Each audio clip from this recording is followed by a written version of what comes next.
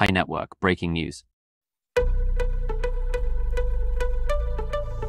Happy Pi 2 Day, pioneers! Today is the last Pi 2 Day before Open Network.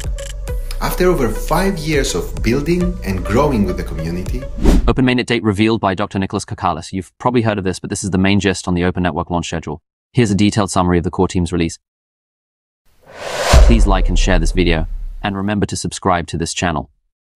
This will help this video reach a wider audience. Pi Network announces final Pi 2 day before Open Network launch. The Pi Network team has announced that Pi 2 Day 2024 will be the last before the launch of the Open Network. This milestone detailed in the Open Network conditions set in December 2023 marks a pivotal point for the Pi community, including the core team, developers, and all pioneers as they work together to reach this goal. During today's Pi 2 Day celebration, updates on progress towards the Open Network, reviews of recent product updates, new releases, and upcoming initiatives will be shared. Additionally, a community event, the Pi 2 Day Open Network Challenge, will be launched. Key open network conditions and current status. 1. Preparations across sectors. The core team remains on track with significant progress in technology, product, business, and legal preparations. Upcoming initiatives will be highlighted. 2. KYC, migration, and utility goals. KYC. Over 12 million pioneers have completed KYC, up from 9.45 million in March 2024. Efforts to unblock corner cases have been successful, with further acceleration expected. Mainnet migration. Currently, 5.79 million pioneers have migrated to mainnet, compared to 4.5 million in March 2024. Continuous improvements aim to speed up this process. Pi apps. There are now over 70 mainnet-ready Pi apps, up from 50 in March 2024. These apps comply with platform policies and provide real utility to the ecosystem. 3. External environment. The launch date of the open network is controlled to avoid unfavorable global factors. While no such events are anticipated, precautions are in place.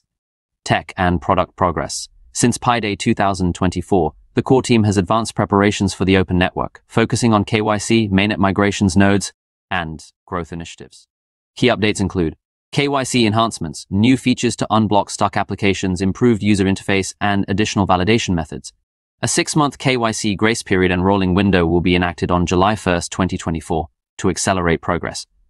Node preparations, testnet updates to facilitate a smooth transition to mainnet. In conclusion, as Pi Network approaches the open network launch, the community's collective efforts are driving significant progress. Detailed updates can be found on the official Pi Network blog, underscoring the long-term strategies aimed at building a robust and scalable ecosystem. Pi 2 Day 2024 serves as the pivotal moment to celebrate achievements and push towards the network's next phase. A final note on the Open Network update. There is much work and anticipation surrounding Pi Network's forthcoming Open Network launch. Detailed information is available on the official Pi Network blog. Pi Network is well prepared for success in the Open Network phase due to the core team's long-term strategies focused on building real-world, scalable, and sustainable utilities. The enclosed network period was a deliberate choice to develop a strong ecosystem without external distractions and pressures. Pioneers have dedicated years to creating utility within the network. Pi 2 Day is an ideal opportunity to drive the community further towards the open network and reflect on what Pi will become once it launches. The core team understand the wait has been lengthy for pioneers, but it has been intentional. As the wait draws to a close, we are proud of the project we are about to launch into the open network. And finally, please do consider sharing this information video with the Pi community if you find it useful. To stay updated on the latest Pi Network news, like and share this video, and remember to subscribe to this channel. Disclaimer. This video is based on my research and opinion and does not entirely reflect the core team's perspective. Remember to always do your own research.